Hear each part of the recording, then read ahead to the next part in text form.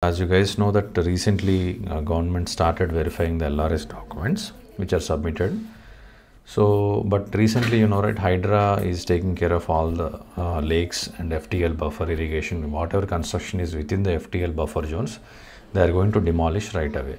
So, what will happen if they regularize the old plots which are illegally constructed, or this LRS basically unauthorized layouts, they are going to now give proper uh, permissions and then give infrastructure to the plot or layout from the government.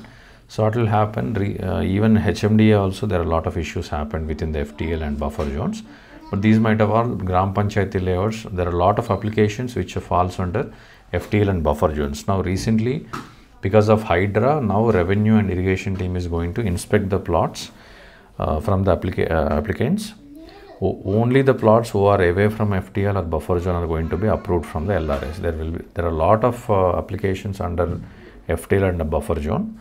So you need to be careful while uh, um, buying a plot in these zones. So LRS applications also getting affected because of the Hydra. Thank you guys.